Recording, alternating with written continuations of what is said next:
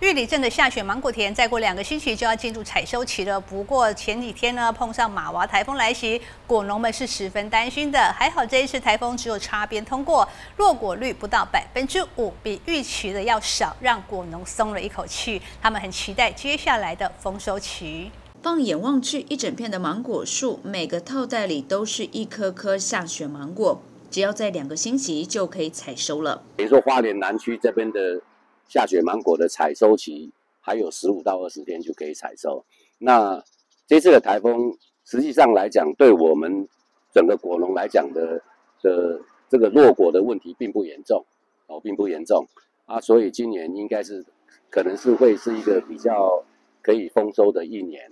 下雪芒果是不仅有土芒果的香气、爱闻的细致，还有金黄的甜度。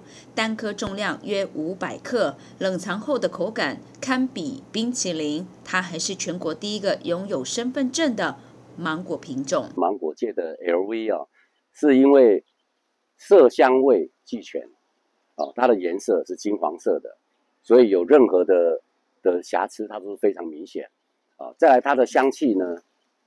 那种天然的香哦，你放在汽车里面或者放在客厅啊，一个摆放一个礼拜啊，那种整个客厅跟车子里面的香气会让你感觉非常的舒服。你如果把它要吃之前是用冷冻的，冷藏冷藏冰冰的下来吃的话，那个口感就比冰淇淋还好吃。每逢台风季，农民总是胆战心惊。强风大雨会导致落果率大增，地上一颗颗残破的芒果都是受到风雨影响来不及长大的落果。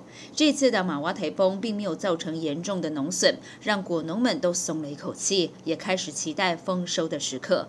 记者高双双玉里镇采访报道。